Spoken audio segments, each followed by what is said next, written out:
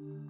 就在上个月，虽然日本央行退出了负利率和取消了 YCC 政策，让很多投资者都误以为这代表着日本央行已经彻底放弃了低利率的环境。但大家容易忽略的是，这一次的调整主要还是政策利率账户的短端利率。那再来，日本央行也已经表明还会继续购买长债。那这一点，日本央行行长池田和南已经明确表示，如果日本国债收益率飙升，那么日本央行就会增加购债。避免银行间的贷款利率大幅攀升，那这说明央行既没有强烈意愿压制通胀，那同时作为一个出口型的经济体，日元贬值更是有利于出口企业的盈利，因此央行方面依然会维持宽松的货币政策。那换言之，日本并不会在短期内彻底改变低利率的环境。当我们进一步去看宏观数据，也会发现，虽然指向日本经济复苏有正面和负面的因素，但整体而言，市场乐观的氛。围正在蔓延当中。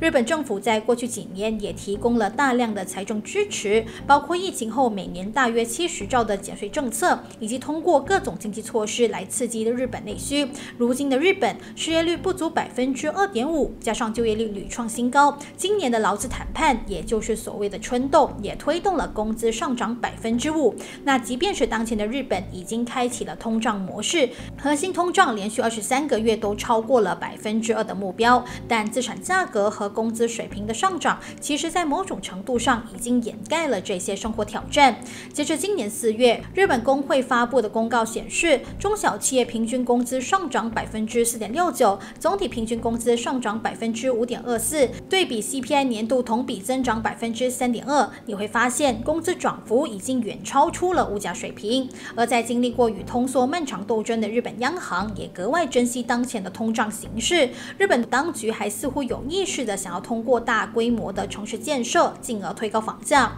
二零二三年五月，新冠病毒在日本传染病法上的定位下调为五类，出行限制正式被废除。那随着人流恢复，店铺的需求也在增加，办公室的需求也十分强劲。数据还显示，东京二十三区的商业用地平均增长了百分之七，大型写字楼吸引租户的势头也非常强劲。那除此之外，二零二三年访日。游客人数也逐步恢复到了疫情前的八成左右，地方投资方面也在增长当中。除了半导体企业纷纷进驻日本的加持，日本国内相关的投资额也在急速攀升当中。而在新就业岗位出现的地区，住宅需求和消费便会开始慢慢活跃起来，这也有助于形成住宅用地和商业用地的价格连绝上行的良性循环。像是二月份开业的台积电松本工厂附近的打金町，部分商业用地已经上涨了百分之三十三点二，涨幅方面更是位居日本首位。而在金融市场方面，日本股市的火热现象更是出圈到无人不知、无人不晓的地步。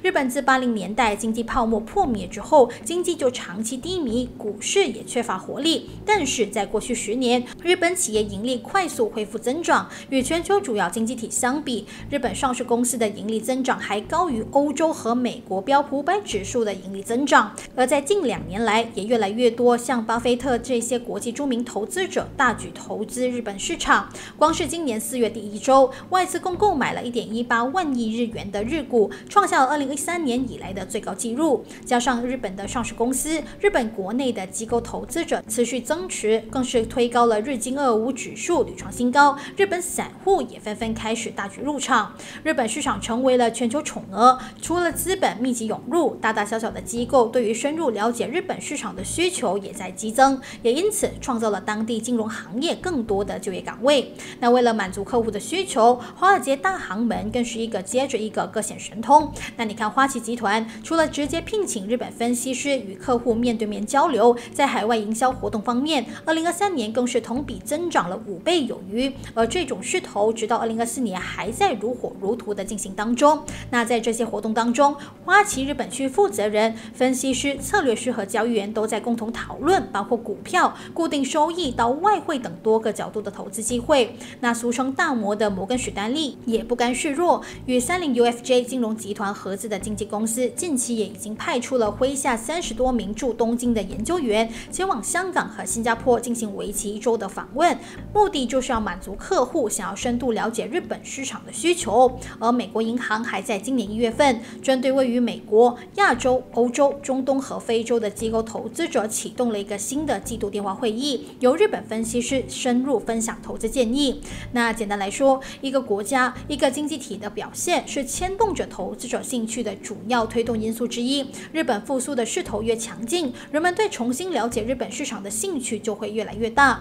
不过，实话说一句，在投资者完成了初步学习阶段结束之后，要维持这种兴趣，并且转化为实际的投资增长，依然需要这个市场本本身能够持续展现价值和吸引力。目前日本股市热潮背后的原因有哪些？这次的热潮属于短期还是长期？我们也还在收集更多资料和数据去做进一步的剖析。喜欢今天的内容，并且希望我们能够针对日本市场做更多深入剖析的影片，欢迎在底下留言处留下你的想法，与我们一起进行交流和讨论。感谢你的收看，我们明天见。